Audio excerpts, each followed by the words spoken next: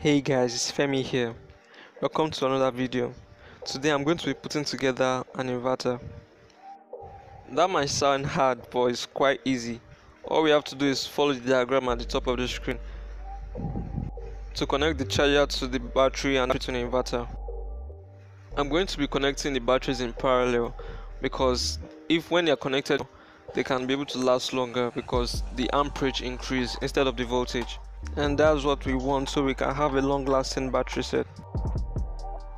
The battery comes in at 15,000 naira and the more batteries you have the longer you can use your inverter for. Here i have 12 batteries. Each of the batteries are 18 amps. And since i have 12 batteries that means 18 times 12 which gives us 216 amps. Before i go on please if this is your first time of watching my videos please give this video a like and subscribe and turn on post notifications so you can know when I drop a new video. Thanks.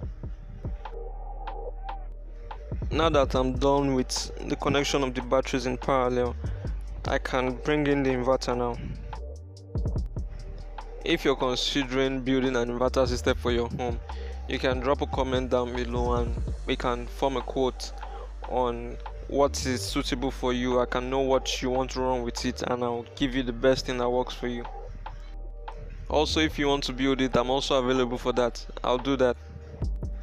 Also in a little while i'll be adding solar panels to this inverter to make it completely clean. I almost forgot the inverter.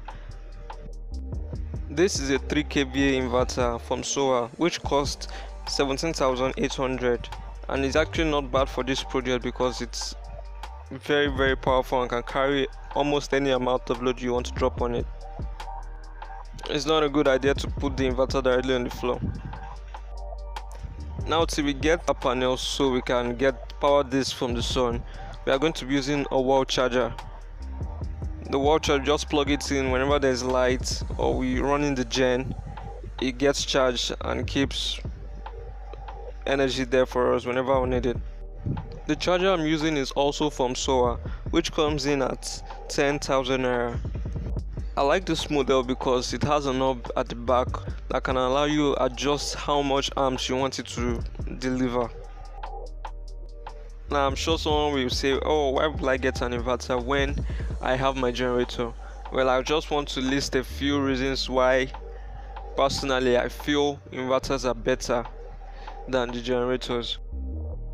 Number one reason why I will pick an inverter over a generator is because inverters are silent. I want to get up by 2 a.m. I okay, I want to watch something, I want to walk, and I'll start having those noise in me. I don't want that.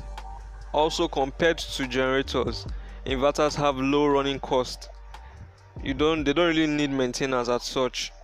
Also, based on how you set them up, when NEPA takes the lights, they can automatically come up and please don't be intimidated by the number of batteries you see here. You can start from as low as four batteries. You get quite a long time for you to use. Also if you have a ups at home and you feel you can use that instead of buying an inverter i have a video in the description and at the end of this video showing you how to go about that